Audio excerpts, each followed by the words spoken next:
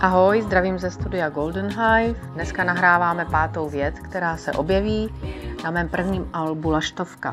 Přizvala jsem si k sobě další dva skvělé muzikanty a těmi jsou basák Ondra Hauser a pianista Václav Chalupský, u kterých mi přišlo, že se naprosto hodí k tomuhle konkrétnímu tématu písně.